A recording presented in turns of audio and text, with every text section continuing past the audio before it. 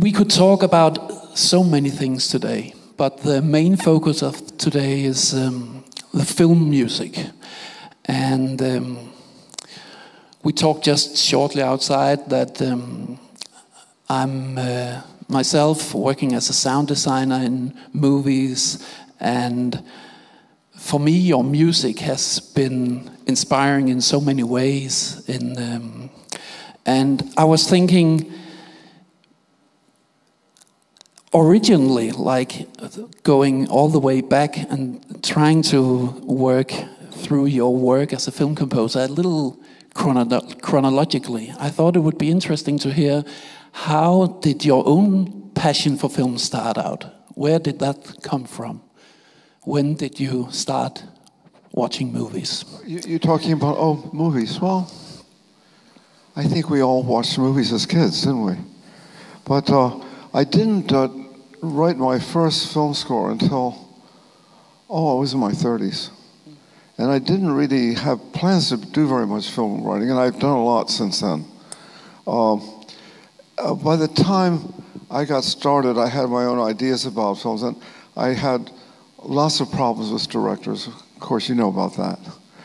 Um, and I actually uh, ended up doing the let's say the uh, the commercial films in the way that they wanted. There's just there's only one way that they do it. They finish the film and then you put in the music. That's how they do it. Uh, but I I developed alternative ways of working, which I did with film, which were these were not the commercial films. These were the performance films that I've worked on. Things like a Dracula or La Belle et la Um, uh, and one of the things that I I, I, resisted was the, the formulaic way of working, uh, which uh, the difficulty with that was that the uh, uh, the composer doesn't have a chance to engage the material of the film in a complete way, and. Uh, I've had this discussion with a lot of filmmakers, and no one seems to understand really and truly. Well, not not every, not no one. The two people who did uh, the two people I work with who knew a lot about film music were Martin Scorsese and Woody Allen. Those two guys really knew something about about it, and they left me alone totally. They never told me what to do. That's how I knew that they knew what they were doing, because. Uh, when the trouble is when people don't know what they're doing and then they tell you what to not do, tell you what to do. You know what you shouldn't be doing it that causes a lot of problems. So basically, unless you want to get fired, and sometimes you do want to get fired, the best thing to do is to get fired very quickly and get paid the uh, what we call the kill fee, and then you can go home. and I've, I've done that with successfully a number of times. Uh, uh, I pointed out to the filmmakers that uh, uh, asked them to do a, a very simple experiment, which is to something that we've all done just to put on the television and, uh, and change the music and watch the picture, and you'll see that the emotional point of view of the picture changes as with the music. But try it the other way. Uh, try music and try changing the picture, and the music doesn't change. So that tells us uh, uh that the uh, that the I would say the emotional content of the film almost is entirely in the music. This is, an, uh, this is a thought that is unknown to filmmakers, and they hate this. Uh, so I don't get very far with this argument. Uh, but uh, uh I began, uh, I, have done a, number of pieces where the film, um, in fact, at one point, I, I, I, I did a whole series of short films with filmmakers, and I basically, I, I, I uh, commissioned them to write, to, to work with me, and I would, uh, uh, I would do the music and then put the film with the music. We performed it. It's a, it's a whole evening by itself. It's five short films. It was called Philip on Film. The, the producer is here someplace. Linda, are you here? Yeah, she's, she's, it was her idea actually. but anyway, well, uh, but in that film, I was able, except for uh, the only person who resisted this was Peter Greenaway. And um, what he did, and t- uh, I, uh, he gave me, uh, he, he, I, I had some music and he gave me a phone and I put it to the, and I moved it around as I wanted to. And then he took it and then he moved, then he, he recut the music. That wasn't, he wasn't supposed to do that. So I haven't worked with him since then. uh, and I haven't worked with him before then either. So this idea of, uh, of where, the real question is at what point does the composer get engaged with the process? And what I did is that I would go to the, I, be, I got engaged at the very beginning. I, of course, I would see uh, a scenario, a film script beforehand, uh, before it was even shot. And it, was, it wasn't that hard to figure out. It's, a lot of, of uh, a film script could be maybe 100 pages, and it might be 100 minutes long. So it's about a minute a page. It didn't get very far off of that. So if you had three and a half pages that you had to score, it was about three and a half minutes. It was, it, you didn't, in fact, now, however, what I did do, which the, the, I wasn't allowed to, I had to wait till the film was being done until then I could do it. But I had my own way of working, which is that I would only watch the film once. Therefore, I would, I, I, would have the normal memory lapses about what happened. And, uh, and so I was able to make a distance between what I was trying to do was to create a natural distance between the film and the music. And that it was my uh, belief and my conviction, I should say, that the, uh, the spectator who is watching, uh, they are the ones that put the, the two things together. We don't do it, they do it. And uh, if we do it, if we, if we, uh, we don't have to do it completely, uh, as we say, we don't have to put the mustache on the Mona Lisa, or you don't have to put the bark on the dog. We don't have to do that. Uh, if you do that, you've entered the world of propaganda. You're not talking about art anymore. Uh, and that's the, what the big difference is. If you leave enough room for the spectator to uh, adjust his uh, expectations to what is actually happening, uh, it becomes a much more creative situation for everybody. But again, uh, I've been able to talk with you about this, but almost no one in Hollywood ever would even listen to this talk. Now, for, from time to time, when I would be out there, I would. There's a kind of a guild of comp- um, film composers, and uh, they get together and complain to each other about what's going on, basically. And uh, uh, one time it was my turn to give a talk, and I gave a talk. And uh, there were about 60, 50, 60 people there. Not, not a big crowd. And, um, but they're all film composers. And I, I liked to, I, I got to know a lot of them uh, over the time. And in this one talk, one of them said to me, he said, Phil, tell me, what is the difference between opera and film? And I thought for a moment and I said, not much, except the workplace is different. And that's the point. The workplace has been constructed by uh, uh, producers and filmmakers. Uh, it's not an organic or sympathetic place for a composer to work in. Have you noticed that? You do you work on films? Yeah, exactly. And the, the creative process, that's always well, the difficult tell, part. Let everybody know what you do so that you're not hiding.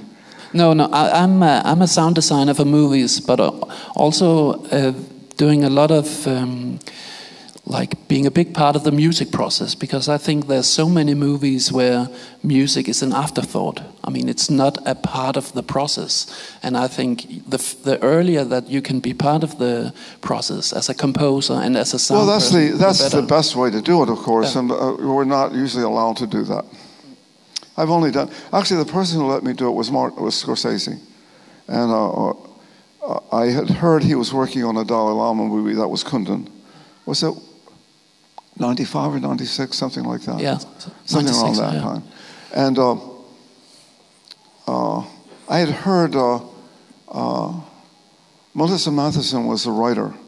She also wrote uh, that one about E.T. Yeah, exactly. She's a very well-known film uh, uh, scriptwriter, and uh, she said uh, we both belonged to an organization in New York called Tibet House, which was a um, cultural center for Tibetan refugee workers, this kind of thing. And she called me and said, uh, she's, uh, we were both on the board, so she said, Marty is making a movie about the Dalai Lama. I said, I, I have to see him. So I went to see him, and I, I knew him for a couple of other reasons, but I had met him a number of times before. And, uh, and so we talked about the film, and, and he said, uh, well, okay, well, I'll see you in a few months. I said, no, Marty, we have to start now. And he said, what, what do you mean? I said, well, what I think, what I'd like to do is, um, let's just go walking, rolling. So he said, I'd like to, um, uh, he said, i am going to put the music in. I'll have to do the film first. I said, no, no, no. So what I want to do is let me write the film. I'll do it reel by reel. In those days, we, used, we had six reels. Now we don't. You know, we still talk about reels, but we don't have reels anymore. But it's a way of talking about the time length of the movie? It's it's back. Just a short explanation. A reel is back in the old days where you had 35 millimeter prints, and you could only have like 20 minutes on each yeah. reel. Well, so during the process, you talked about oh. uh, splitting it into reels. In, fact, in Kundun, there's one reel, the, the, the, the fifth reel, which is the escape from from Tibet, is 24 minutes and he had to get uh, an extra large uh, reel to do it, and he did. He, he, he, managed to do that. And I said, no, no, I want to start now. And, and I said, I'm going to write the music to explain what I was going to do. And, um, and he just shook his head. And I said, look, where are you shooting? They're shooting in Morocco. And they were going to do the mountains later. He said, um, I'll send the music to you while you're filming it.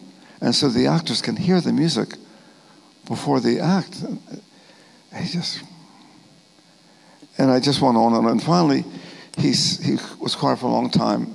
And I said, Marty, we have to do this right now. And he went like this. Okay. and he let me do it. And, uh, uh, and in fact, what happened was that uh, I had only uh, got up to around the, third, the fourth reel. Oh, I hadn't done the fifth reel yet. And I was on tour with my ensemble, and uh, I got a call from him, and he said, "Okay, we need the music for the fifth reel." I said, "Well, when do you need?" it? He said, "I'm starting on Monday. I have to have the music. I must have it now." What was happening? He would take the music and he would play the music for the for the all the actors, and they were they got into that process where they they could hear the music before the before the scenes. In fact, in some cases, uh, I actually, with Godfrey Reggio, I had the cinematographer listen to the music while he was filming. I really got that far ahead of the game. Um, uh, and um, so I was, I was in some place, I think it was in London somewhere, and I, I, I, I had the weekend also. I flew home, and I, I did the fifth reel in two days, which is a very short time. And I, and I said, okay, this is not, this is this is kind of what it's going to be, but I'm going to have to redo this. And um, I sent it to him. And uh, I never had to redo it. It worked perfectly. And so, but the point was is that I got him to the point where he wouldn't, he wouldn't film until he had the music. Wow. But that never happened again. uh, not with him or anybody else. But anyway, so, but, uh, so this is a, uh, the, here's the, the point is this the elements of a film are like when I said it's like opera.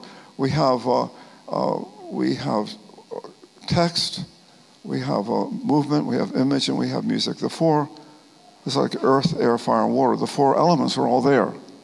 Um, in any collaborative work, there'll be two or three. Sometimes there'll be four. The only ones that have four will be film and opera.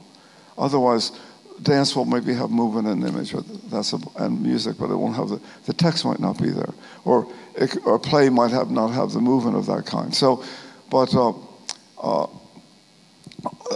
when you did, if you look at it that way, then uh, uh basically uh, my consideration was that the the, uh, the the emotional point of view of the film will be in the music, which I'm convinced that it is. Uh, uh, and um, and therefore that should be the basis on which you, you, do the rest of it. So actually, the point is is that the, the, the beginning actually is the script. You have to read that first, and then you can then you can mark it up the way you want to, and then you can put the music where you like. Uh, but you, uh, uh, the only people that have really let me do that, Godfrey Reggio, who did the Qatsi movies, we did all the movies like that. And uh, sometimes Errol Morris, a little bit, he let me do it, but not very much. Uh, uh, you know, the filmmaking is a big control business, and it's a question of who runs it. Well, you know, it used to be the directors, now it's the producers, and now it's the studios. It's getting worse and worse. It's getting worse and worse. But and the movies are getting worse too, but no one seems to mind. um, I want to talk a bit more about your collaboration with uh, both God- Godfrey Reggio and Errol Morris, but I think it's time for you to oh, play oh, the Okay, I'm going to play a piece which actually ended up being in a film. Uh, I just remember that, and it was uh, in actually in Errol Morris's film. Uh, uh let's see, I think it was called The Thin Blue Line. I think it's the music that you hear at the very beginning. And uh, I might have written the music for uh, the film and then made it into, actually, it's a piano piece I play all the time now. It's a short piece, about six minutes.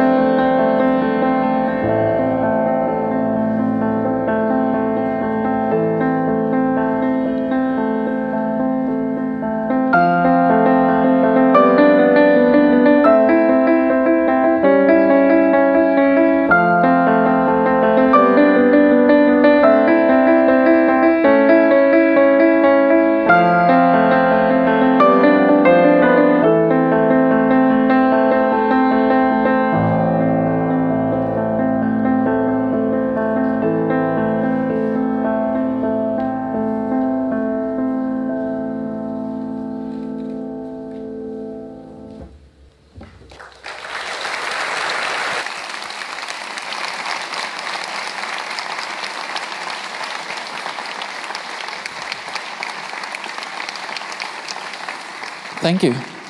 That did uh, indeed really send me back to the Thin Blue Line. It's that that movie is so powerful. I watched it actually a couple of years ago in New York in a restored, uh, new transfer, and it's such a Yeah, that- that- an amazing film. There's a film about a man that was uh, in jail in Houston for a, a murder he hadn't had anything to do with, and the film begins with a what you what you see what that music is the skyline of Houston. No, it was Dallas. Sorry, it was skyline of Dallas, and you hear uh, uh, the the voice of the of this accused person. I forget his name, and he says. Uh, my mother said to me once, if there were, ever was a hell on earth, it was Dallas. And that's the music you heard. On the soundtrack, there's a lot of the the interviews from uh, the film kind of melded into your music in a really beautiful, brilliant way. Like the, you hear these interviews like intersected with your music, and um, it's interesting because I met Errol Morris at um, IDFA at Documentary Festival in Amsterdam last year, and. Um, he was asked about this, like uh, this way that music and words kind of went together, and he said for him the words were music uh, as well. Um, and then he also said that uh, you and him apparently originally had the same music teacher, that you and Errol Morris had the same music teacher in Well, original. he, he had uh, he actually had been to music school. Yeah. He was a uh, cellist. Yeah. In fact, to the say, if I write music for him, he'll ask me to send him the score, and he'll sit down and play it on the piano, which is a little discomforting. I'm not particularly interested in having the director play the music on the piano. but it's such an integral part of, of the movies that you've done together. Well, yes, but he uh, he has his own. We have our own. He has a. He also likes to put music in places where I didn't intend it.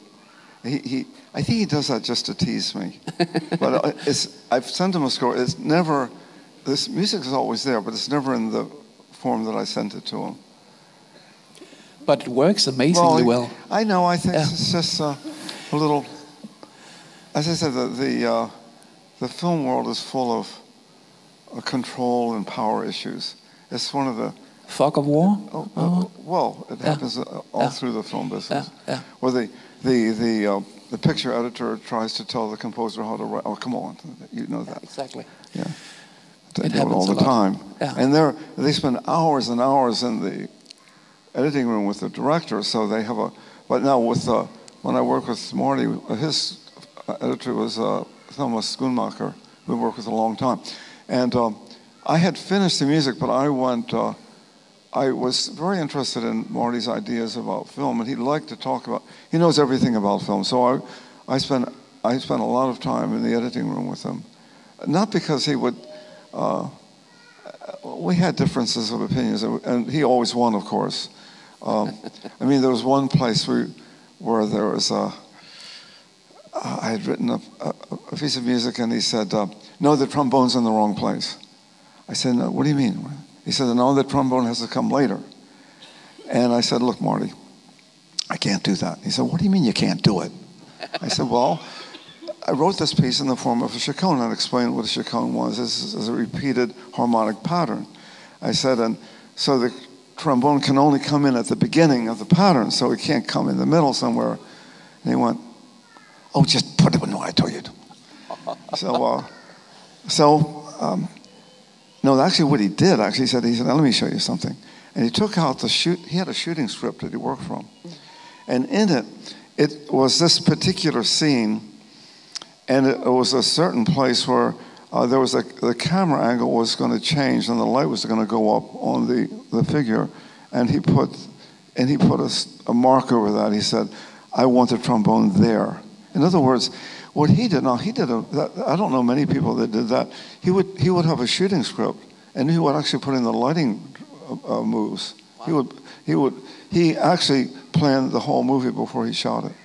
But then uh, he wanted uh, the music to conform to it, so of course he ruined my chaconne, but he was happy. How about your collaboration with uh, Godfrey Reggio on the Qatsi trilogy? Well, and also Godfrey, um, uh, Godfrey does really let me do pretty much what I want. Uh, uh, we've done six movies now. Uh, he's, I got a seventh one he's starting to work on. And uh, we usually were working at the same time. The, uh, when we, were, we begin working, he's working on the first reel because that's, he, he runs out of money by the second reel. And he has to stop and has to go and get the money. So it, it can take, uh, Koyaanisqatsi took about three years to finish. Not because he was working on it for three years, but he was raising money for three years. Uh, so what would happen, um, we would, uh, I was living in New York and he was uh, living in Venice, California, which is Los Angeles. And about every month or so, I would fly to out to California and I would look and see what, how I was getting along with it. And he, I would write the music, I would send it to him, and there would only be maybe 10 minutes completed at that moment. And then he would, uh, he would show me what he was doing, and um, basically he was cutting the, to the movie, to the, to the music. Uh, okay, it was, uh, I could much, I could work much more quickly than he could because the materials of music are, are very fluid, they're very easy to work with. The materials of film are very complicated and expensive. Uh, so to reshoot a film can be a, a disaster for, uh, for a low budget film because they may not have the money actually to do it. Uh, well, we didn't have the money either, but, but basically, he didn't have the money until the very end of the, end of the picture. Uh, and so it took, it took a long time to, to do that. But during that time, we had time to uh, we had time to put the images and the music together. And uh, mostly I started, and then he would do something, and then I would add to it, or then he would basically, uh, I, I would say, How long is this image? How long is this scene? He said, Well, let's say it's nine minutes. So I would write a piece that was nine minutes long and he said, Well, it's actually a little bit long. And so I would cut it down to what he wanted. And so basically, we would shape the music and the images together. And we did it kind of scene by scene. Uh, but we, uh, uh, I also, besides that, I, uh, I, I uh, usually the film wasn't even completely film, uh, photographed yet. So we, and I normally would go out uh, I would go and, and to the to the uh, to the shooting sessions too. So when we were doing a, a, a which uh, we'll be playing next week in uh, in, in, Norway. Um, when we when we were he he would uh, um, I would go with him to, uh, uh, he was shooting in South America. And I would go there and, and see where, was there, that film is in the Serra Pelada mines, of uh, gold mines in Brazil. And uh, I knew that's where we were going to start. But there was a film that Cousteau made, Jacques Cousteau made, of that same place. It was in black and white, but it was the same place. Um, uh, an earlier version of it, but it was still the same. And I saw so I knew what it looked like. So I wrote a piece. That, that piece was about. Uh, it was for the opening of the film, and then I uh, I made a uh, what we call a work tape or a demo tape, and uh, I, I, when we got there, I gave it to uh, the uh, the cinematographer, and he, he had a headset and he he listened to it while he was filming. So we were and so while he was filming it, he was listening to the music that I was filming to. Wow. No, okay, no, it gets even better than that. so then, uh, so the guys that were working in the mines are all about 17 they're very young. And uh, I had this, I had learned, uh, I began studying Portuguese so I could speak with them. So, so they, and they said, "Okay, ask, uh, what do you, uh, uh, okay, what are you doing here? And I said, film, uh, we're, making a, we're making a film. And they said, can we, uh, V, can we hear it? And I said, see. And, and so I, I uh, uh, the, the, first guys, and see, this was a, the kind of coal mine where uh, they're taking the uh, dirt up to the top, and it goes through a sluice, and the water goes over it, and the gold stays in the water, and the dirt goes out. That's how it works there. And um, so they had to carry these huge bags up the uh, up, up these ladders, and um, uh, so uh, um, so I and I so I played I, I played this I played the music for them, and after a while. Uh, there were a lot of guys there, but we were in one part of the uh, of, that of that location. So uh, maybe 12 or 15 people heard the music, and I played it for them. And then they and they said, "Todebe, very good, very good." They liked the music. Uh, they were very very young. These I think they were about 17 or 18 years old. And uh, I said, "What are you doing here?" And they said, "Oh, there's gold everywhere, everywhere." And I said, "Well, what are you going to do with the money?" And they said one guy said, Well, I'm going to go home to my town and open a VW uh. You know, that's, they had these kind of. Yeah, yeah. They were trying to get enough money to, but actually they never did that. What happened is that they would, uh, when you were, uh, we were there for three or four days, and um, uh, when they would find a nugget, a nugget would, could fit in your palm, your hand like that, just a gold nugget. They could find a whole nugget like that, wow. and that could be worth about $30,000. And when every once in a while you would hear this roar coming from someplace because someone had found a nugget. And uh, in the mornings they would be lined up. I mean, I, I, it was very, very interesting to be there. And, and, and of course, it was interesting for me because what I, I had written the music, but then once I had been there, I saw that the, that I saw how young they were. I didn't realize that from uh, looking at the Cousteau movie that they were very young. So I decided to, uh, to uh, have a children's choir. Uh, and, and I got a, I, I found some text for that. And I added it to the music that was there. So when you hear that piece now, if you go listen to what's called Powaqqatsi, it begins with this, it's a very, very energetic piece. And uh, uh, it's almost like a dance.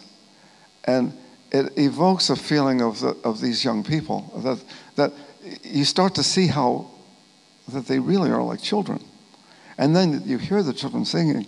So if I hadn't gone there, mm. I wouldn't have seen that and I wouldn't have known that, and that element would not have been in the film. So that just gives you an idea. What are the when you go to this, when you can see actually what's going on, uh, it'll change the way you write the music. Yeah, inspiration works both ways inspiration works both ways. So well, I guess so. Yeah. I mean, they, they, there were so many funny stories about that place, but let, us go on. I just wanted uh, to ask you shortly about Woody Allen because you mentioned him yourself, Woody Allen, uh, as. Uh, I mean, for me, it was so amazing that he suddenly worked with you as a composer on one of his movies. I heard that even that movie, Cassandra, uh, was his first movie in stereo because usually he works only in mono. But then your music came in, and then he, he did that in stereo. Oh, uh, Woody has a very his schedule is this. He he he writes his films in the wintertime in, in February and March. He shoots them in the summer. He edits them in the fall and around the beginning of December, he goes on tour with his band. He has a little clarinet. He plays clarinet. And so he does that every year. He does a movie every year. Uh, that just was the movie that I got. And mostly he does what we call needle drops. Mm, exactly. He, he takes scores, and he, he doesn't really work with a lot of composers. And so he didn't, when I met him, and uh, I got a call saying that Mr. Allen's going to call you. Um, it's a good thing they had told me that because if someone, I picked up the phone and said this is Woody Allen, I would have hung it up. Would, it was obviously a prank call, but it, it was going to be Woody Allen. He called up. He said he wanted to talk about a film, and I went to see him. And um, he had never done this. He had never worked with a live a living composer. So I looked at the film. I said, I can do this. And he said, Oh, okay. And then he said, now what do we do? I said, Well, Woody, we have to spot the movie. And he said, Well, what's that? I said, Well, you have to tell me where the put the music. He said, He just went like this. No, no, no, no. No, no, no, I'm not going to do that. I said, well, how are we going to do this? He said, he said, I just put the music in. I said, well, where does it go? He says, well, put the music in where it goes.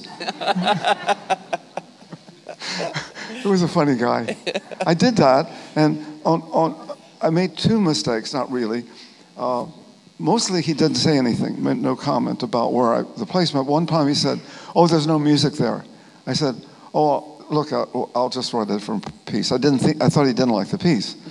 He said, no, no, there's no music there. I said, Woody, I can, I'll have it ready for, I'll have it, you can have it tomorrow. He said, no, no, I don't want any music there. I said, oh, okay, so I took, took it out. Then uh, about, uh, this happened for a period of weeks. So a week or so later, we got to another place in the film. He said, oh, is there music there? And I said, yes. He said, okay. he, he had very little, he, he almost never said anything. Wow. Uh, so he said, Well, what can I do to help? Once one done the music, I said, Well, I'll come up here and I'll bring you the demos, but I'm not playing it for your picture editor. Uh, uh, I'm going to play it for you. I don't want to hear from someone else what you thought. Mm. So you're going to tell me. He said, Okay. So I would go up there, and then he would. Uh, he it was very funny. So I would sit like a chair, and there was a, the, the uh, console was there. In those days, we oh, I think we were doing digital movies by then. Oh. So uh, you didn't have all the stuff hanging on the walls the way you used to, you know. So uh, they would put up the music, and, and then they would play the cue, and then he would he would be behind me. And after the cue, there would be a moment of silence, and then he would lean down and say in my ear, Good. That's all he said. Wow. now, at the beginning, uh, now it was a this film. Uh, you know, he does these murder films too. Besides the funny films, the romantic films, he does these. This is a triple murder film. The two guys, uh, the two murderers get killed, but they, the guy that they murdered is also killed. So three people get killed all at the end of the movie. So I knew it was a, it's a really. So I decided. I didn't know what, what, what, what he was like at all. I didn't know what he would like to hear. But I decided that on the very first piece, I better find out. So if I was going to get fired, I'd rather be fired in the first week. That way I get paid and I can go home. but uh, so uh, the first piece was the credits. So I decided to write a kind of Verdi overture, kind of like Rigoletto, something really, really down, really mean. So I wrote a really dark piece. And it was about four, three or four minutes, just long for the credits. So I put it up, and he looked at it and he said, Well, that's very dark. I said, I said, I know it's very dark. He said, Well, maybe we should start with something less dark. He said, Okay, I'll write you something else. He said, No, no, no, no. Let me listen to it for a while. I said, Look, Woody, if you do it this way, then at the end, after the t- double murder at the end, we can put that at the end again, and then we'll know why it was there. at the beginning, we won't know, but at the end, it'll be the same exact piece. Only instead of being the overture, it'll be it'll be like the end of the uh, it'll be like the, the, the end of the tragedy. And he just didn't say anything. Then he went off. Uh, he went off to uh, do his tour in December. We hadn't finished editing yet, so I didn't know how it ended. And he never told me. So finally, I got a message to go up. He said, You can come and see the movie now. So I got Michael Riesman. That's the fellow uh, that was sitting opposite me last night uh, on the piano. That Michael uh, makes the demos with me at that time, he did. And so I said, Michael, come up. We can look at Woody's new movie. So we got up there, and everything was where it was supposed to be. And we got the end, and First of all, he used the overture for the, where I wanted it. I got the end, and he put it there. I said, "Oh." I like I like Woody. I I thought, uh, but you know, I think that maybe the experiences for Woody and for Marty were too intense because I never heard from either of them again. but I mean, they, actually uh, in that world, people change. You generally change people all the mm. time anyway. Philip, um, yeah, we could go on and on, but you Yeah, should I, I also know a play lot of another stories, piece. but, but we don't yeah, have exactly. that much time. Um, you have one more piece, piano piece to play, um, and um, that's gonna round off today's Uh, talk. this, so- this is a piece that uh, wasn't uh, actually for a film. Uh, it was actually written for an, uh, the organ of Saint uh, Cathedral St. John the Divine in New York, which is a very big. Uh, it's the biggest cathedral we have in New York, and uh, that uh, uh, again the, the, the Lama was involved with this one too, uh, because he was giving a talk there, and the people who were uh, asked him to give the talk uh, weren't sure when he would come, so they asked me to write a piece of indefinite length, which was kind of right something I don't have trouble doing. So I uh, I wrote this piece for the organ, and then uh, later, uh, Lucinda Childs, who was the chore- choreographer of of the most of the performances of Einstein, she did those except for the very first ones. Um, she took it and uh, she turned. I, by that time, I turned it into a piano piece, and uh, she calls it Mad Rush, and she turned it into a dance. So, again, this is a piece that began as a music piece and ended up being a dance piece. Uh, the other one ended up being a film piece and ended up being a concert piece. So this is how this happens. It's a little bit longer. It was the the uh, length of the piece was. Uh, he was only 14 minutes late. So that's how long the piece is. Right.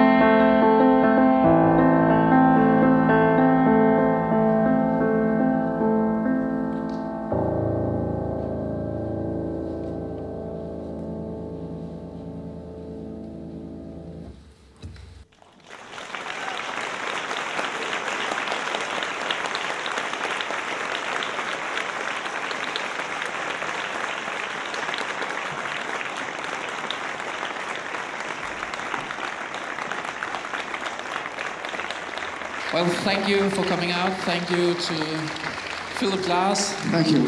Thank you to Click Festival and Copenhagen Pigs. Thank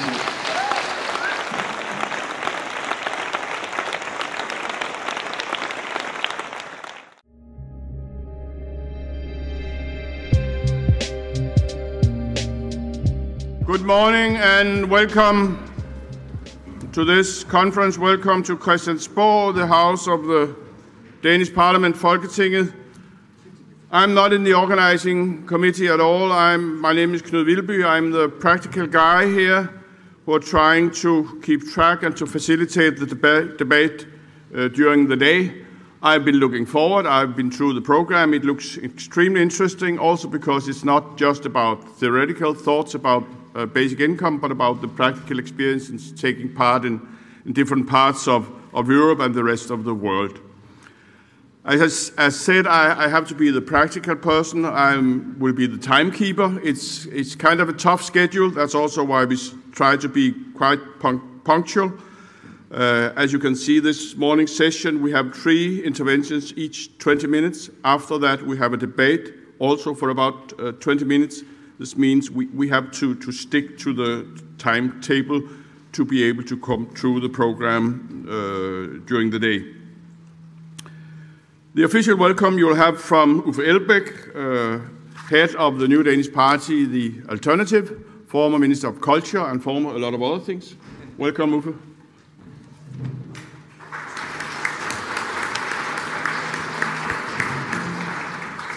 And thank you for that uh, introduction, and uh, good morning, all you brave people. And uh, it's very uh, precise that I say brave people, because uh, first of all, it's I think it's the first uh, conference here in the Danish Parliament about basic income, and I know when I look over the top of the crowd, I see a lot of gray-haired people. And uh, you, should be, you, should be, proud of that.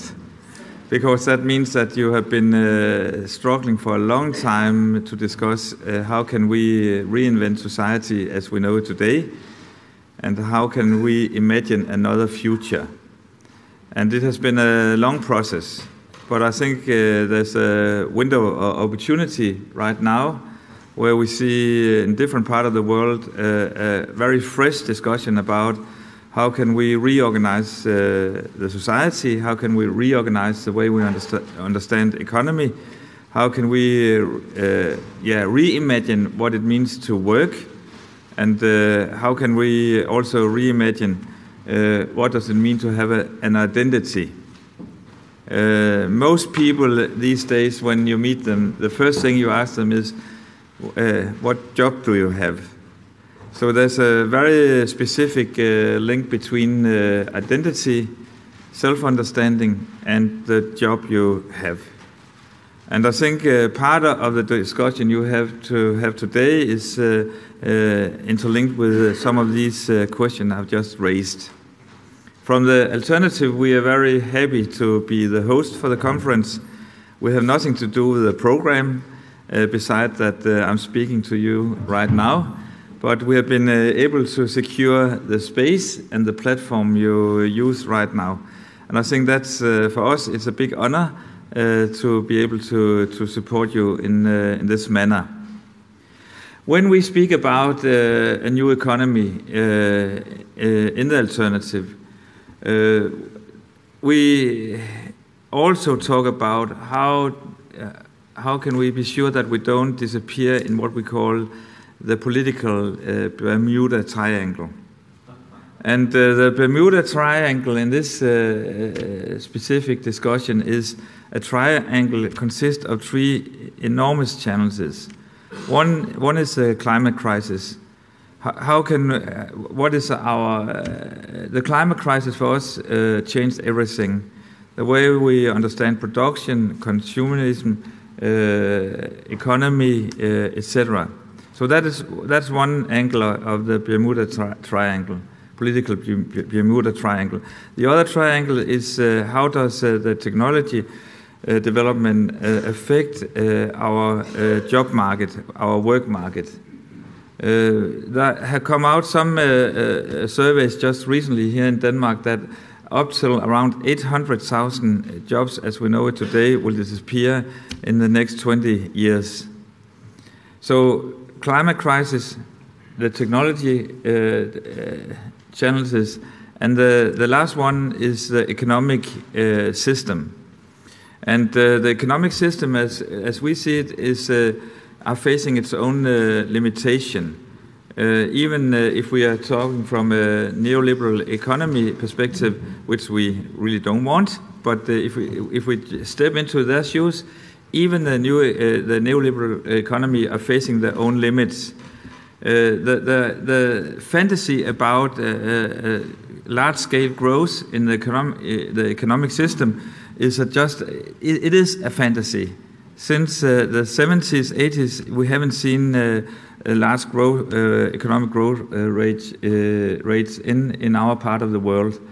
So this uh, political Bermuda Triangle with the climate crisis, the technology, and the limit, limitation of the way we understand the economic system today. In that triangle, we can disappear. But in that triangle, we can also uh, imagine another future. And that's where your discussion about uh, basic incomes uh, comes into the play. Because uh, if we uh, try to secure a, a, a new social uh, security base for everyone in our society, we have to discuss what, what potential do we have when it comes to the basic income. And uh, in the alternative, we haven't uh, gone all the way. Uh, we've gone so far that we say that we think it's important to make experiments when it comes to basic income. We have to make some pilot projects and figure out what, works, what doesn't work. And if it works, let's scale it up. And I know that that's part of, the discussion you, are going to have here today is to figure out what, can we learn from the Finnish examples, what can we learn from the Canadian examples, what can we learn from the UK examples. Uh, and uh, I'm really happy that uh, there's this opportunity to share experience, good and bad. Another question uh, which we're discussing uh, in the alternative is, is there's always a light side and a dark side to everything. Uh, so most of you guys are, of course, looking into the light side of the basic income. But what is the dark side of basic income? Some of our colleagues, also from the UK, which uh, we are talking with, are hi highlighting that uh, that we sh should be aware that if we we understand basic income uh, in the wrong way, that's actually, uh, in a way, uh, pushing people to a very passive role. You will get your money, please be quiet. It's your own destiny. You have to secure your own uh, life. You get a check, over and out.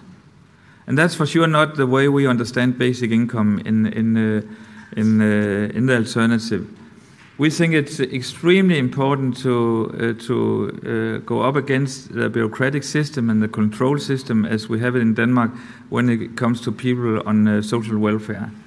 And we have to uh, understand that if if we give people responsibilities, they they will be responsible. And we have to understand that we want to motivate people positively uh, so that's uh, the reason why we are so up against, and we debate it and we we want to change the whole control system as we uh, we have it today in, in Denmark when it comes to people with on social welfare. Uh, but on the other hand, uh, uh, on the other hand, did you see that? Mm. He thinks I'm running out of time. and uh, that's totally sure. Uh, I'm running out of time, but uh, but I just also want to recommend you that uh, be honest and also talk about both light side and dark side uh, when it comes to uh, the whole discussion about basic income. And see basic income as only one of the building blocks to, to a new econo economic model. And uh, that's uh, our task uh, at, the, at the alternative is to start the discussion about what kind of economic model will come after the present version of capitalism. Because there has to come another economic model. We know parts of it, we discuss parts of it, and you will do it uh, as well here today. But that's actually the big Apollo project to figure out what is the next economic model. And basic income can play a very important role in that discussion. But basic, welcome, you brave people.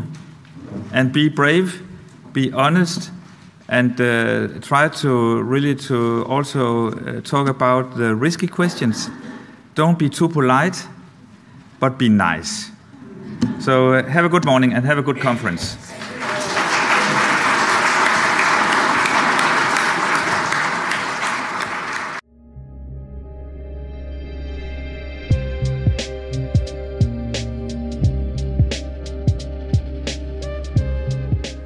And this morning session basically is about implementation, about practical experiences in different countries.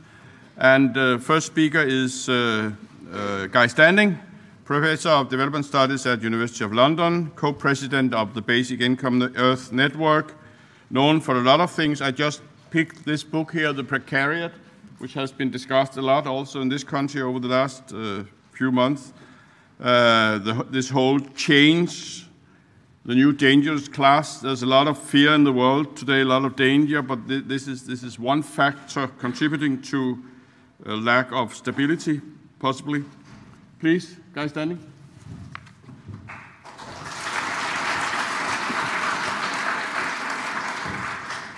Good morning, and uh, one of the great pleasures of being in Bien, the basic income movement, is that we move around and it's like a journey, and we're always meeting friends along the journey, and it's so nice to see so many people that we've got to know over the years. It's a great pleasure.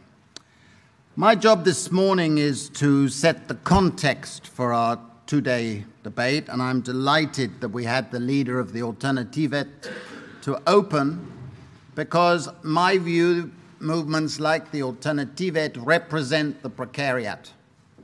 There are movements growing everywhere, and we need such movements. And fundamental to this alternative, of course, is basic income. Now, for me, this is a particularly poignant month because it's our 30th anniversary. 30th anniversary this month when we founded Bien and began a long journey. When we started, we were a group of much longer haired individuals, radicals, mad, bad, and dangerous to know. And what's great is to see so many people about the age I was then, today, and in our movement, taking over from us. And where's Karl? Because Karl is doing a fantastic job with Louise as co chairs, but they should be looking behind them for the next generation to take over from them. And it's great because we're growing strong, and that's the first point that I'm delighted to say. And this year has become a particularly strong year. And a lot of people are joining from strange positions on the right, on the left. Suddenly, they're inventing basic income. You read blogs every day where someone, my idea is a basic income. It's, it's great. Second, I've just published a book, which I have a few copies if anyone is interested, which is my sort of defining approach to basic income. And it takes the Painian, Thomas Paine arguments forward. It's called The Corruption of Capitalism. It's about rentier capitalism and how we can use that as a moral and economic justification for funding a basic income. And the third, and I can boast on this one relative to everybody here, is that for my pains, and I've lost a lot of hair and aged a lot, but I have actually been involved in doing five pilot basic income schemes. And there's one thing I can guarantee, only one thing about pilots. You will make mistakes. That's the only thing I can guarantee. Now, I want to reiterate a point which is out, outside pilots. But we must remember the justification for a basic income as what, however we see it, is fundamentally about social justice. We believe in a basic income because it's an instrument for promoting and strengthening social justice. That's first. The second is we believe in a basic income because it enhances freedom, enhances what we call Republican freedom, the freedom to be not dominated, the freedom of exit, the freedom to say no. Right? And the third reason we support basic income is it's a means of giving us basic security. We need security in order to be rational, to have mental health, and all of the other things. Security is fundamental. Now, for none of those three things do we need pilots. Right? Because they're fundamental about our values. And therefore, we have to be very careful what we want from pilots and what they can do and what they cannot do. Now, at the moment, we have what I began calling at the beginning of this year the year of the pilots, because suddenly they're sexy. You know, they're sexy. So we have pilot in Finland, we have pilots in Dutch cities, all going to take place. We have Ontario, where I've just been, where Hugh Segal is promoting a pilot. We have Sam Altman, I met earlier this year in a very strange place, and he's pledged $20 million to do a pilot in California, and I'm going there shortly to be advising them. We have Give Directly sprouting up. We have wonderful programs on TV. We have crowdfunding basic income pilots in Germany, Netherlands, USA. I was in New Zealand, and the New Zealand Labour Party no? New Zealand Labour Party has come out in favour of pilots. Jeremy Corbyn, with whom we've been working behind the scenes, I hope he survives. I hope he survives. And John McDonnell, his, his backup man, as it were, they are committed to doing pilots. And we have the Alternative and the Scottish Nationalists and others. So we've got this coming up. Very interesting. But we are in dangerous waters. Very dangerous, because in the name of basic income, are these really basic income pilot schemes? It's the big question. My fear is that too many of them are using the name of basic income but are far from it. And then I ask myself is it good or bad? that these are being called basic income pilots. In a sense, it's good because it's extending the debate, it's making more and more people familiar. But it's potentially bad if it leads to a direction of social policy that none of us in this room should be supporting. A move towards social engineering and libertarian paternalism where you use the policy to steer people to behave in certain ways, incentivize them to do X rather than Y because the state wants that. I hope none of us in this room want these pilots to go in that direction.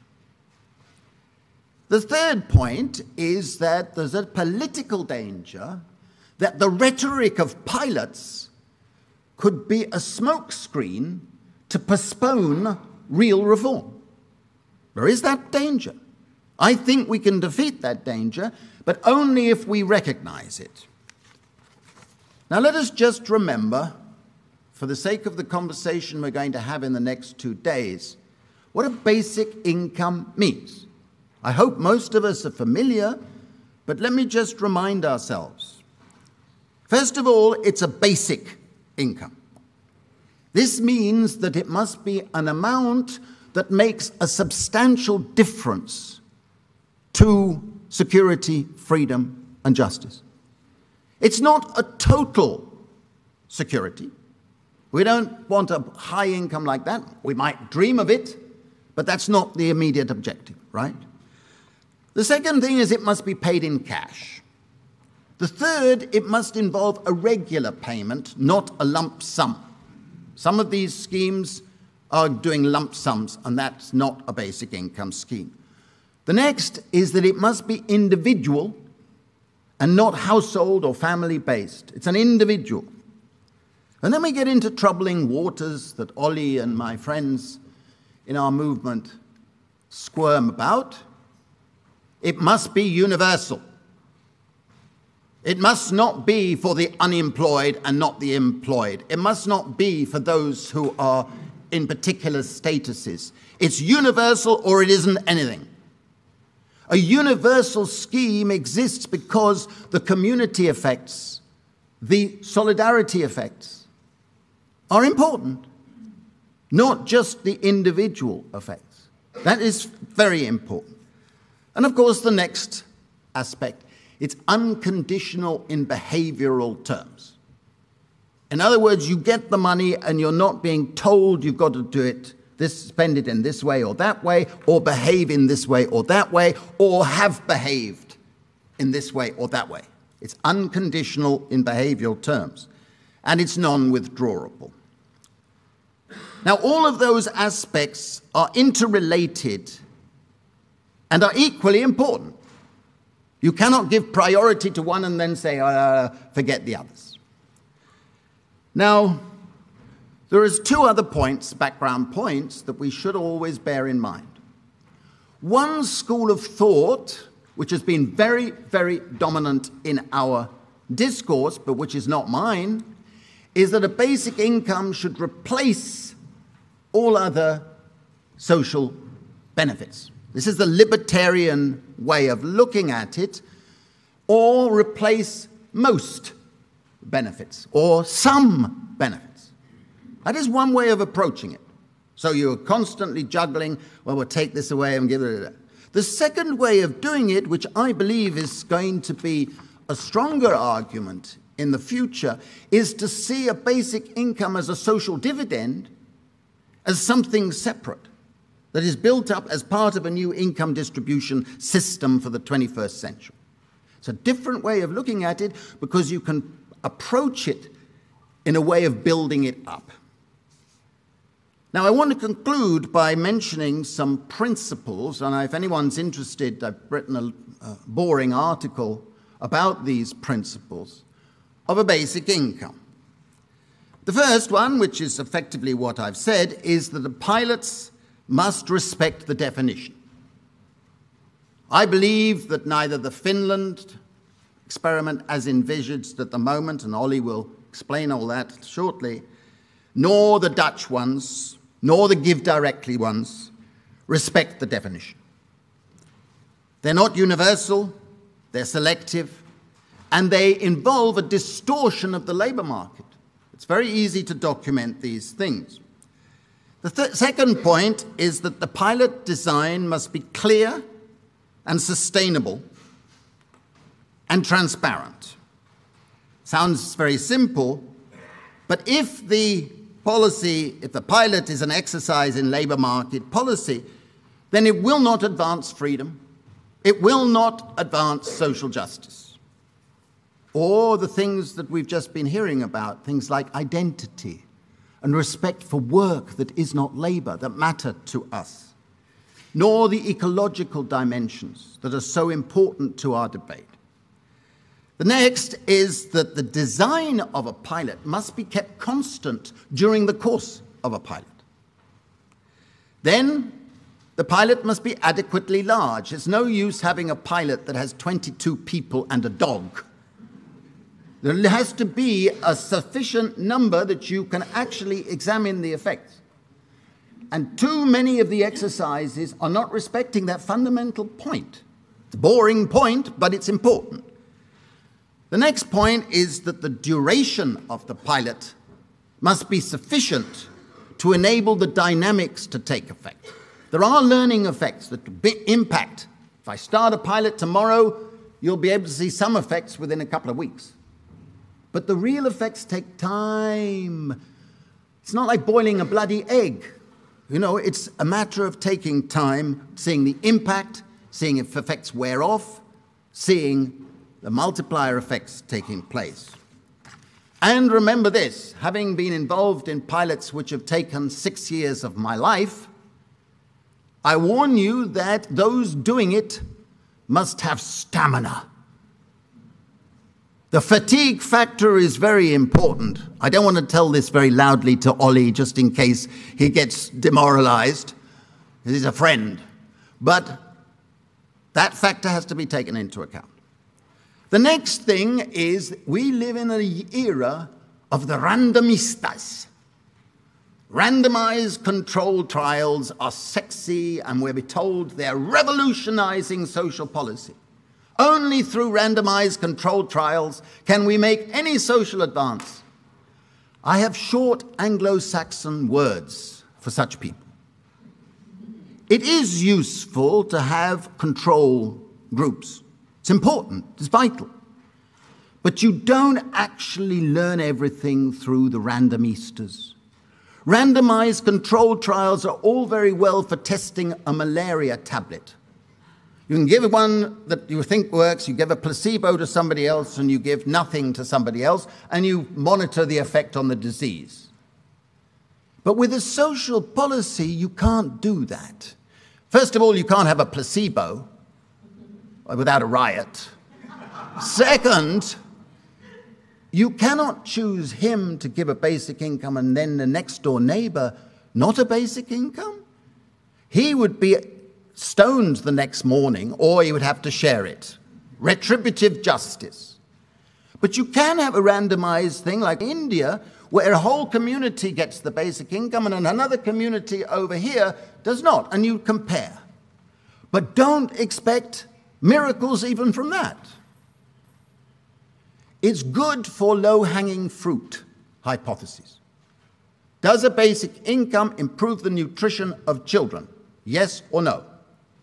Does it improve the health? Yes or no? These are low hanging fruit hypotheses. They're not that low, let me tell you.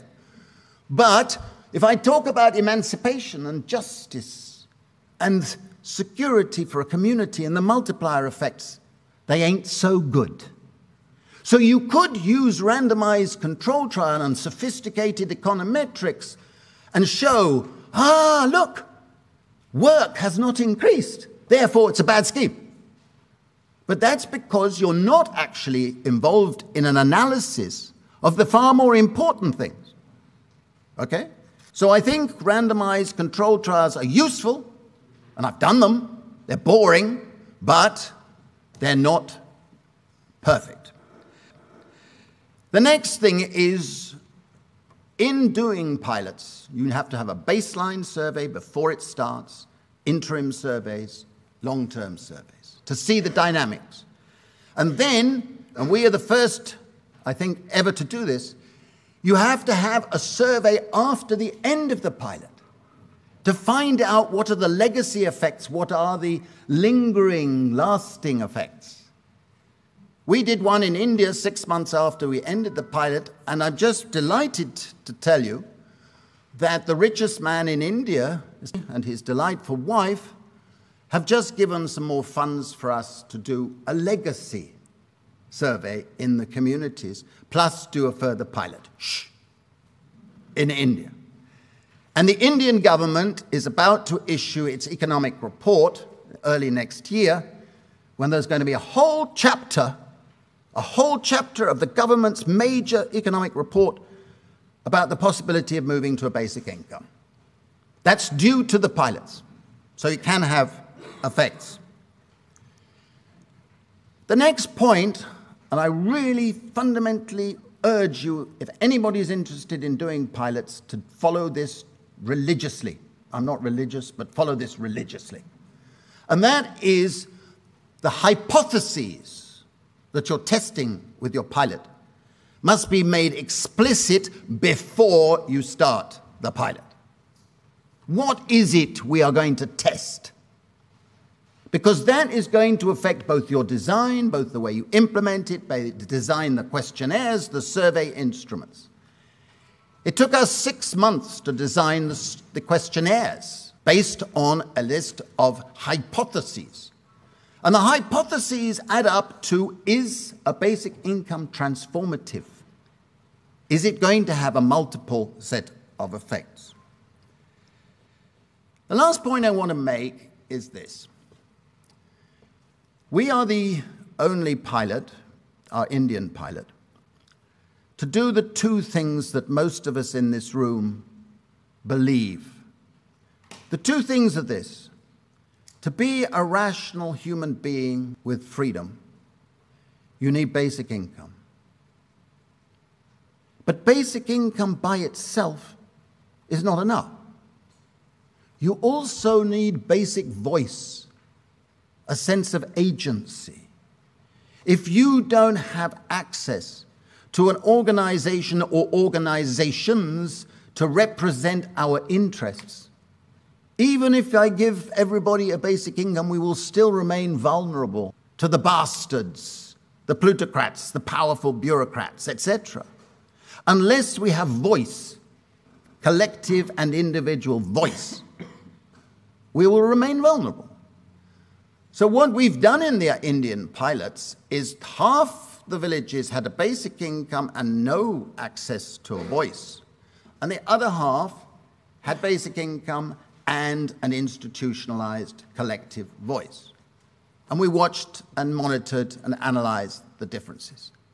It will be very interesting in the pilots in industrialized Western countries to take that principle forward because we do need advice. We do need to be able to turn to figures and organization when we are in distress. That's going to be an interesting aspect of the design. So I thank you for listening. I hope we will continue. I hope that the difficulties of doing pilots will not put people off experimenting. But I also urge all of us to make sure that doing pilots is not an excuse for politicians and others to kick basic income into the long grass, as we call it. We've got to do both at the same time. Thank you very much for talk, listening to me.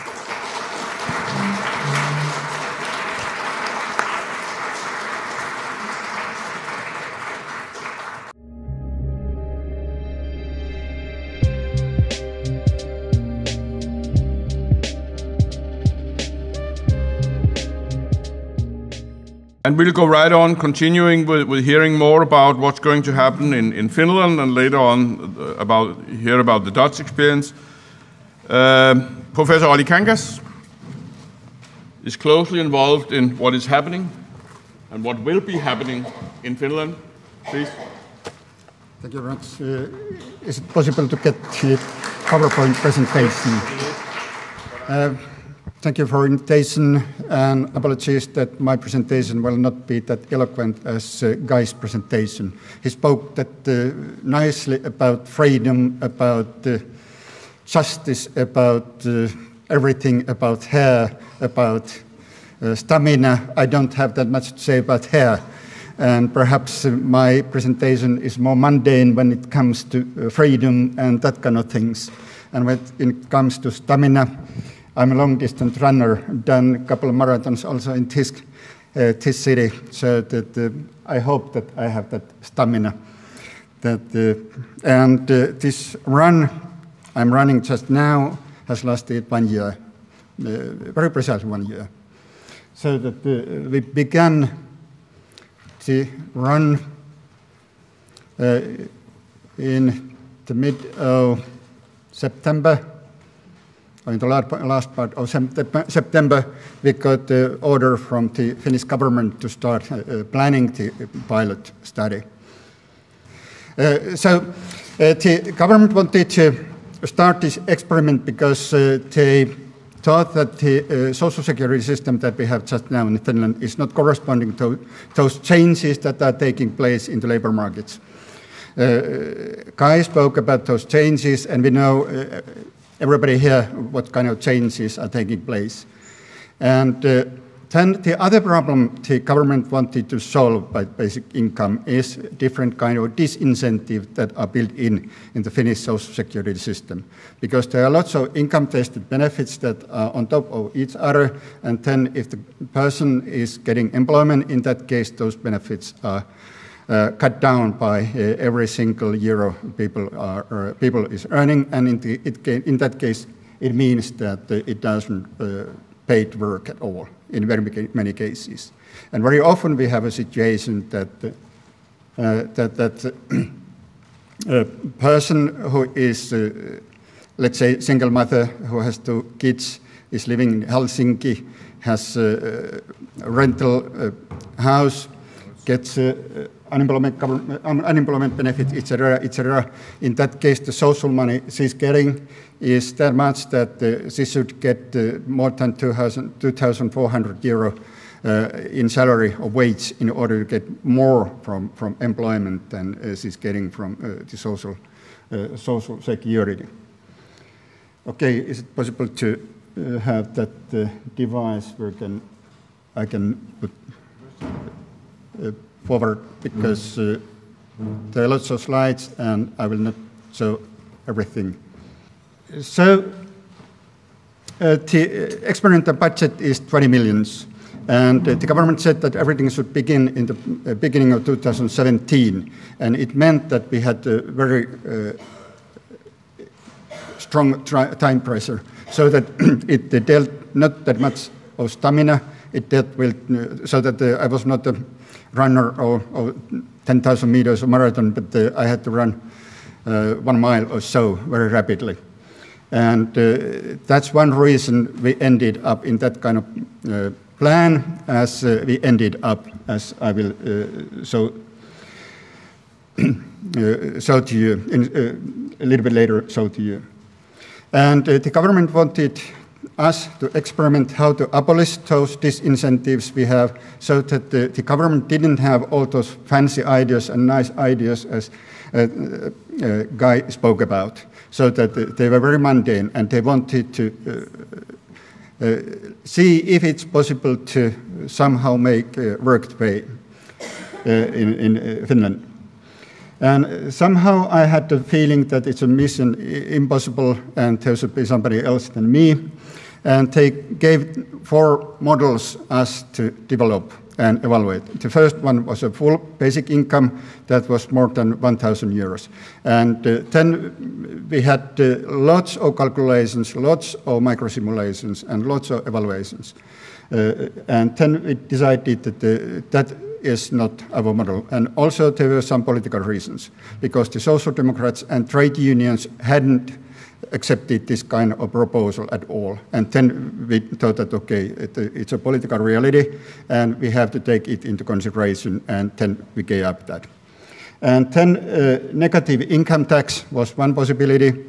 And the problem in Finland is that we by now don't have updated income register that's uh, on the basis of uh, on uh, daily or weekly or monthly basis. It's only annual basis. And as Kai said, we should have given a lump sum for people.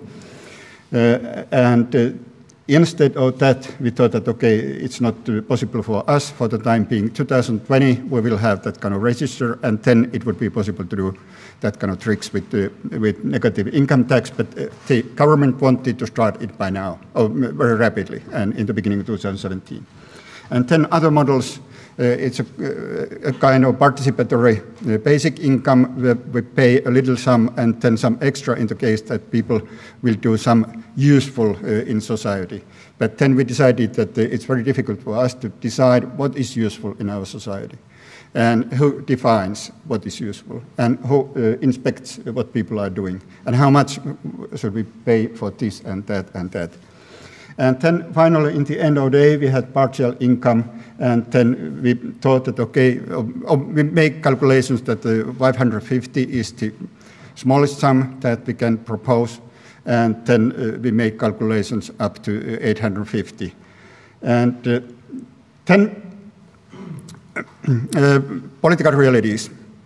Uh, the dotted line here uh, is a mark that the parties above that are positive uh, uh, in relation to basic income, and parties that are below the dotted line, they are against it. And uh, the funny thing is that uh, in the present government, we have only centre party that's in favor. The Conservatives and True Finns are strongly against. So that it was a strange combination because uh, only uh, in addition to centre party, the Greens and the left-wing League are in favor, but other parties are uh, against. And you can imagine which kind of political uh, game and, and uh, intrigues there were behind the curtains when we were uh, proposing this, so that the, the, support was coming for Centre Party, but then the other parties in the government, they were little bit reluctant or, or not that uh, eager to, to go ahead in this question. So that uh, I will write about that, but uh, not as long as I'm running. But uh, after this run, I will uh, write a very interesting book about political decision making. Uh, the expert group that consisted of lots of economists and lots of social scientists and uh, lawyers, we proposed that the whole adult population should be target for the, the uh, experiment. And then uh, we did some limitations on the basis of age and uh, also on the basis of income because uh, our budget was limited and then we thought that okay let's uh, concentrate on low income people because the, the effects uh, work incentives that in, uh, government was most interested in uh, are, the strongest. And then we had that bad word randomization national level randomization that we thought that uh, it will be represented for the whole country, and then there will be local experiments uh, that take uh, into account those local effects, as in some uh, some uh, international or some experiments in other countries. And to increase the sample size, because we had a limited budget, 20 millions, and it uh, means that if we had taken persons that are not getting anything else from the social security system, in that case, compensation or basic income should be taken from the uh, running budget or the experiment or experimental budget. In that case, we should or could have uh, something like 1,500 uh, people in the experiment, and that's too much. And then the government, in its wisdom, decided that we can use uh, those social security benefits that are already in payment uh, to uh, somehow be faked basic income.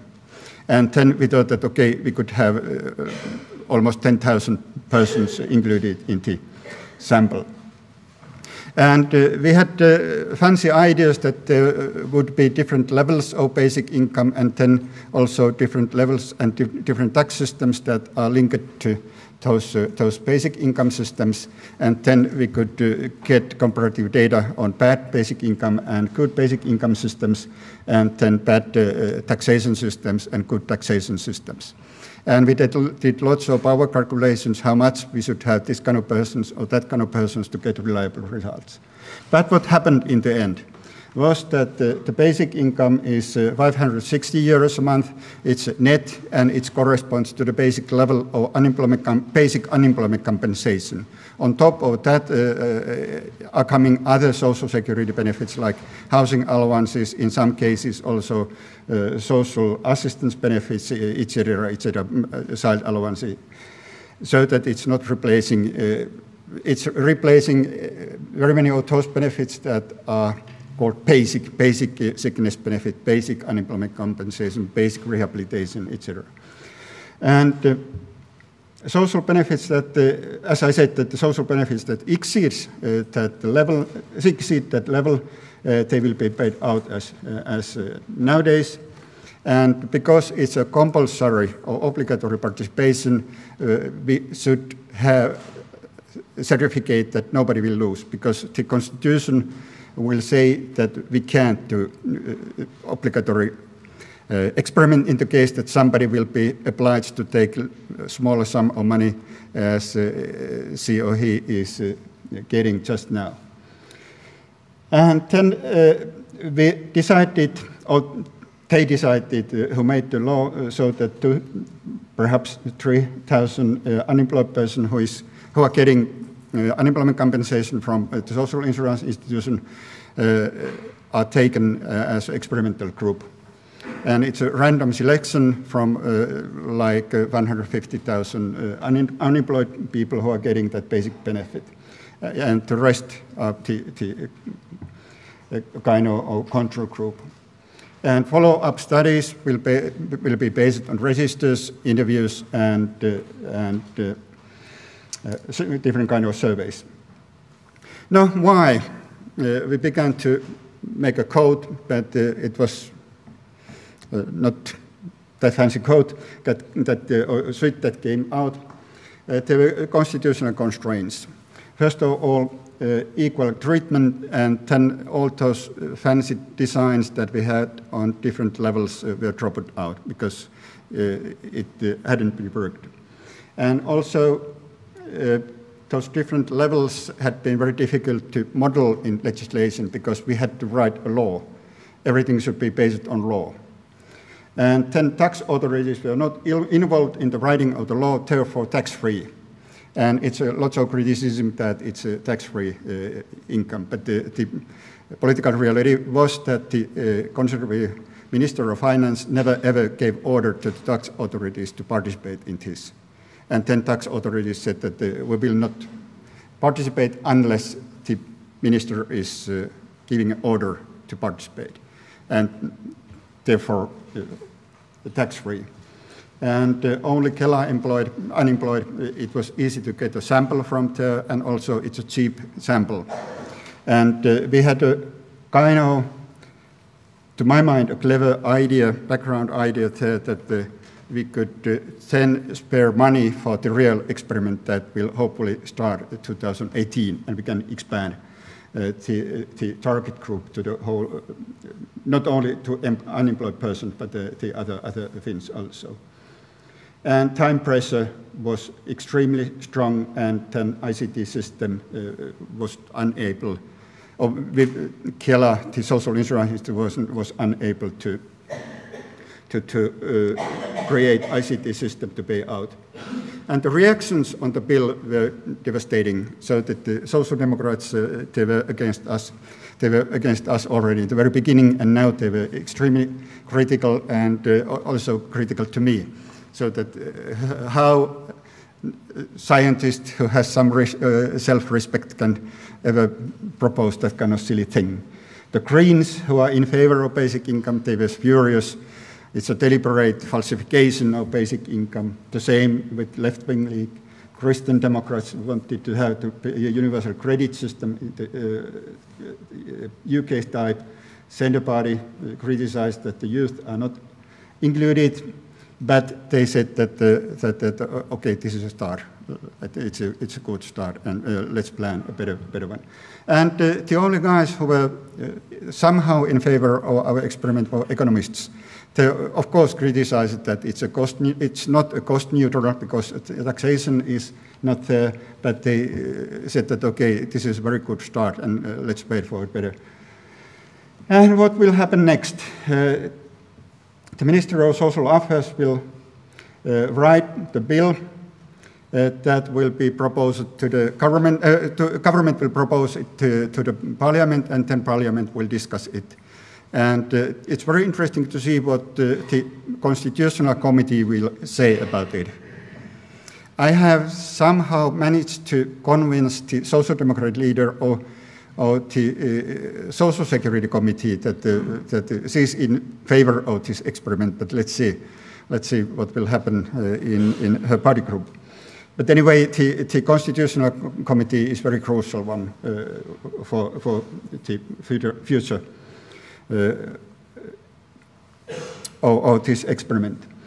And uh, now it uh, seems to be so that we can expand the sample by including some other groups because we have uh, lots of money, not lots of money, but uh, let's say 14 millions left, and then the government has said that perhaps there will be something more, and then also some other institutions uh, have said that perhaps they will contribute, so that we are hoping for getting something like uh, 20 millions more. more. And uh, the critics about the small sample, okay, it's very easy to expand in the case that uh, we use the uh, employed persons so that we could have very easily uh, 6,000, uh, 7,000 unemployed persons, but uh, it doesn't solve that problem that it's a selective group of people. And then other groups then unemployed or other groups that are getting social benefits, they are expensive for the running budget of the experiment. But uh, in the case that tax system is involved and the tax collected on income that's coming on top of basic income is somehow returned to the experiment, in that case, uh, we can expand uh, the, the uh, uh, number of people further. And uh, then there's a question obligatory or voluntary participation, and also the question that uh, how to deal with uh, with the local experiment. The problem with the, involving a whole municipality in the experiment is that the municipalities in Finland are um, not all of them are pretty big, but the, those municipalities where it's possible or clever to have that kind of experiment, they, they uh, have something like uh, more than 20,000 20, uh, inhabitants. So that there must be some aerial or local experiments, not the municipal experiments.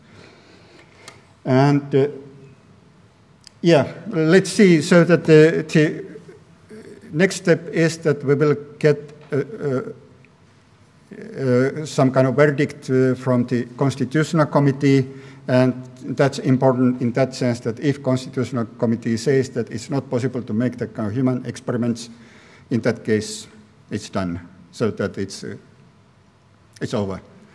Uh, but uh, let's hope that uh, they will say that it's possible to do that, and then we will have something more in the beginning of 2018, and we have more time to plan the legislation, we have more time to plan ICT technology, we have more time to plan uh, better, better sample uh, uh, than we had now. So this is a kind of short survey of my running.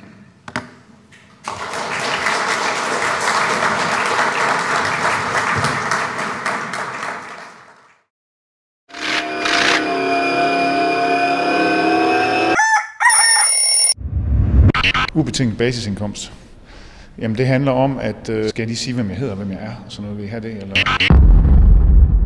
en lille indtægt til alle mennesker, også selvom de ikke arbejder. Hey! Også dem, der er for syge til at arbejde. Også dem, der ikke kan finde job lige nu. Øh, så det handler simpelthen om at sikre, at hver eneste sjæl på den her jord har en lille indtægt at leve for. Så vedkommende kan få mad på bordet, så vedkommende kan finde sted at bo. Men de penge bliver brugt alligevel i forvejen. Når folk bliver arbejdsløse, så tvinger vi dem til en hel masse ting. I går der var du hårdt arbejdende skattebetaler pludselig så bliver du arbejdsløs, så næste dag så er der en eller anden, der skal til at bestemme over dig. Der kommer stort set ikke nogen i arbejde. Det koster milliarder at kontrollere det og administrere det. Folk vil gerne arbejde. Når du sætter kontanthjælpen kraftigt ned, så kan du give endnu lavere løn. Hvis kontanthjælpen den stiger, så kan lønnen stige tilsvarende, uden at komme over kontanthjælpen. De arbejdsløse er faktisk berettiget til at, at, at findes uden at skulle søge jobs, som ikke er relevante for dem. Og det der til at blive tvunget til noget, man gerne vil. Jeg ved ikke, om du kender det. Når jeg, når jeg, når jeg prøver at, at, at sige til mine børn, nu skal du gøre det der. Og de var lige ved at gøre det selv, så bliver det simpelthen så rasende. Der er ikke noget værre, end, end, end at blive tvunget til noget, man gerne vil. Fordi så får man frataget ejerskabet og sit eget liv.